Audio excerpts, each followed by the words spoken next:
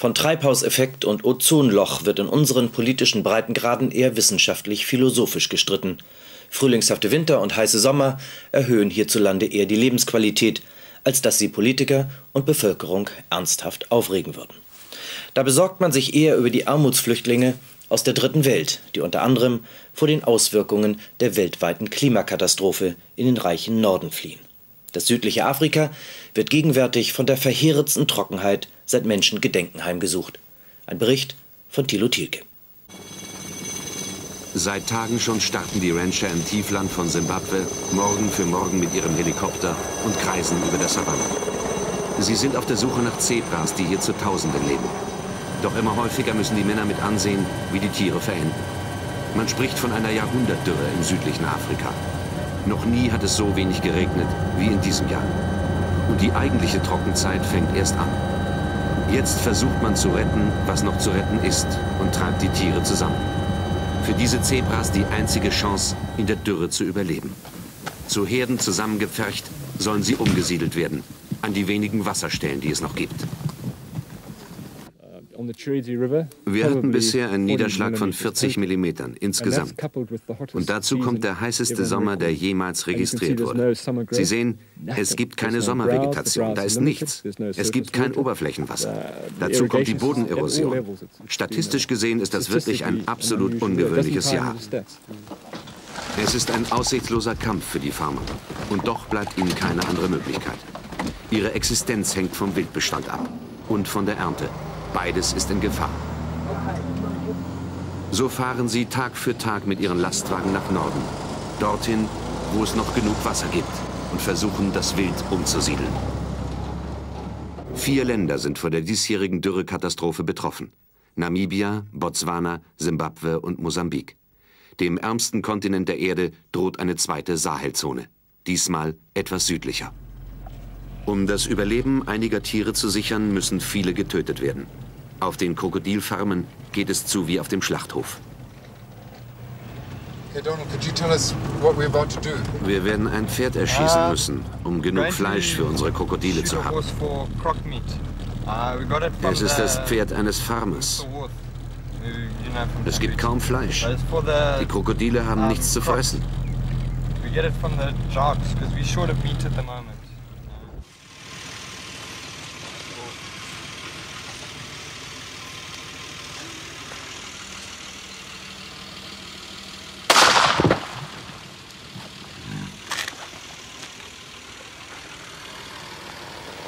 Hatten Sie selbst auch Probleme mit der Dürre?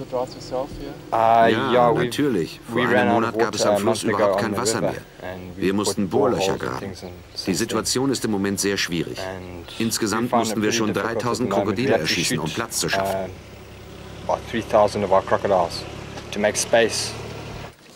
Das große Tiersterben kann niemand mehr aufhalten. Man kann nur noch versuchen, den Schaden zu begrenzen. Denn es wird nicht die letzte Dürre sein. Seit Jahren schon warnen Wissenschaftler vor dem Treibhauseffekt. Jährlich werden 20 Milliarden Tonnen Kohlendioxid in die Atmosphäre geblasen. Das hat die Wirkung eines riesigen Glasdachs. Viele Tierarten werden aussterben. Und die, die nicht der Dürre zum Opfer fallen, werden von Wilderern erlegt. In wenigen Jahren gibt es in Simbabwe wahrscheinlich kein einziges Nashorn mehr. Ihre Hörner sind ein begehrtes Exportgut. Zur Potenzsteigerung. Man gewinnt Aphrodisiak aus ihnen. Dagegen zieht jetzt eine Sondereinheit zu Felde. Glenn Tatham ist Chef der Anti-Wilderer-Einheiten. In seiner Cessna fliegt er regelmäßig Kontrollflüge über den Nationalparks des Landes. Doch meistens kommt der Wildhüter zu spät.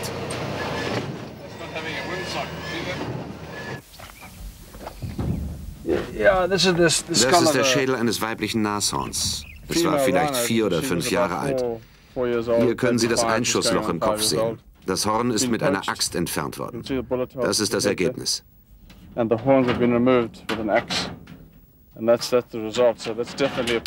Das Tier wurde mit Sicherheit von einem Wilderer getötet. Es war gerade alt genug, um Junge zu bekommen. Sie war trächtig und sie haben sie getötet. Das ist eine doppelte Tragödie. Dieses Weibchen hätte noch 20, 25 Jahre leben und acht Junge bekommen können. Das ist das Ergebnis. Nur um ein einziges Horn bekommen zu können. Paramilitärisch ausgerüstet demonstrieren die Patrouillen Stärke und sind dennoch hilflos. Immer mehr Wilderer kommen illegal über die Grenzen des Landes. In den riesigen Nationalparks sind sie kaum aufzufinden und machen meistens leichte Beute.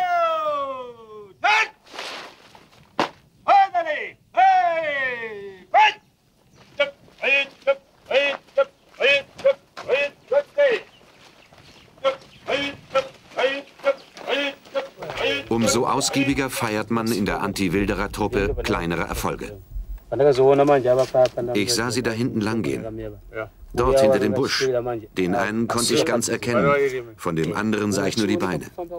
Aber da waren noch mehr Männer, das konnte ich deutlich hören. Als sie an einer freien Stelle waren, habe ich sofort geschossen. Zwei wurden getroffen, die anderen konnten entkommen. Danach kamen die anderen von unserer Patrouille dazu und wir haben alle geschossen.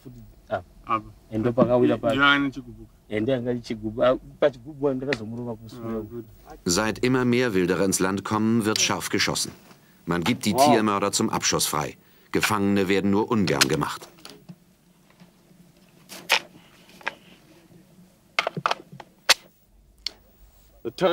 Insgesamt sind bis jetzt über 150 Wilderer getötet worden. Ungefähr halb so viele, etwa 80, wurden gefangen genommen. Wir haben aber in der gleichen Zeit 1500 Nashörner verloren. Einige unserer Männer sind dabei auch umgekommen. Viele wurden verwundet.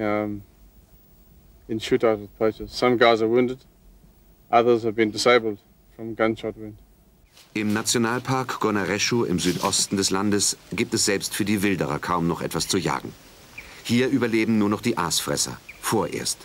Die meisten anderen Tiere sind bereits verendet. Die Wasserlöcher ausgetrocknet. Gras wächst nicht mehr.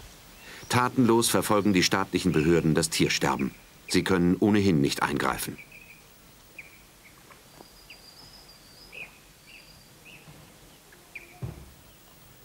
Überall liegen die Kadaver verdursteter Tiere verstreut. Ein gefundenes Fressen, allenfalls für die Geier. Als erstes starben die Nilpferde. In der glühenden Sonne trocknet ihre Haut schnell aus. Am meisten machen uns natürlich die Nilpferde Sorgen. Wir haben hier im Southeast Lowfield ohnehin nur eine sehr geringe Population. Kaum mehr als 500 Tiere.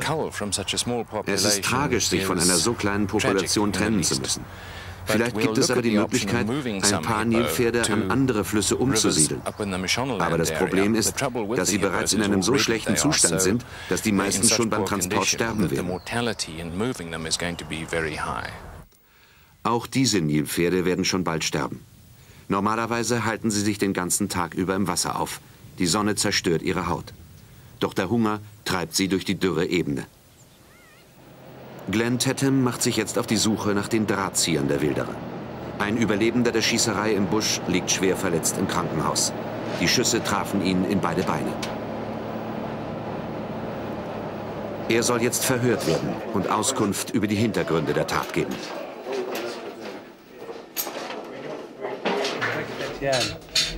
Sag uns, warum du aus Sambia gekommen bist. Was wolltest du tun?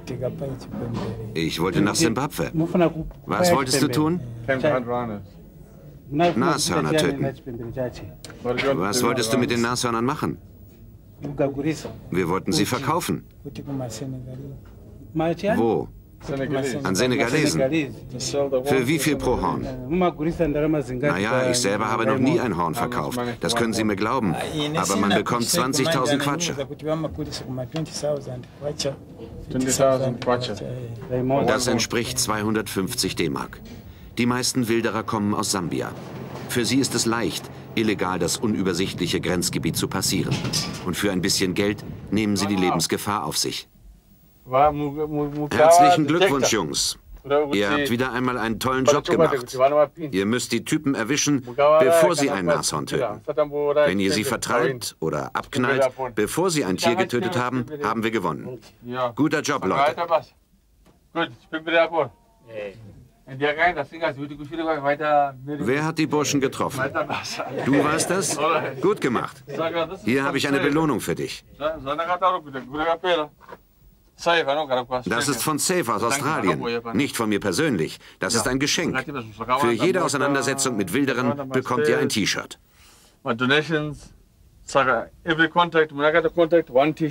Aber diesmal gibt es noch ein zusätzliches Geschenk. Eine Uhr.